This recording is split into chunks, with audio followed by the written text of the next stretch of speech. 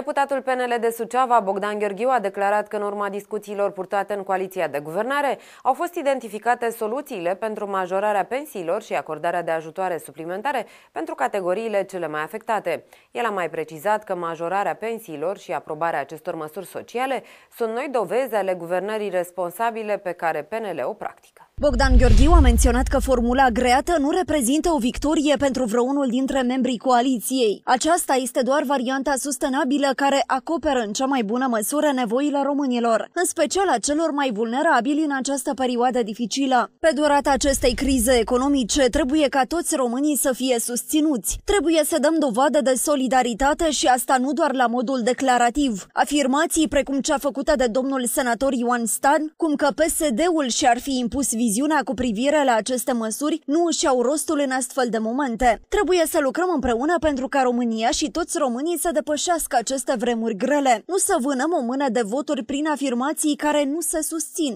Spun asta având în vedere că măsurile agreate sunt mai aproape de ce a susținut PNL în cadrul discuțiilor, această variantă fiind superioară celei propuse inițial de PSD. Deputatul Gheorghiu a mai menționat că aceste măsuri sunt posibile datorită principiilor de guvernare aplicate de PNL. Majorarea pensiilor și aprobarea acestor măsuri sociale sunt noi dovezi ale guvernării responsabile pe care PNL o practică. Ele fiind posibile tocmai datorită principiilor de guvernare aplicate de PNL în ultimii ani, care au contribuit la creșterea economică și la creșterea veniturilor la bugetul statului. Mergând pe aceleași principii, obiectivul nostru imediat este acela de a identifica și soluțiile pentru sprijinirea mediului de afaceri, a precizat deputatul Gheorghiu.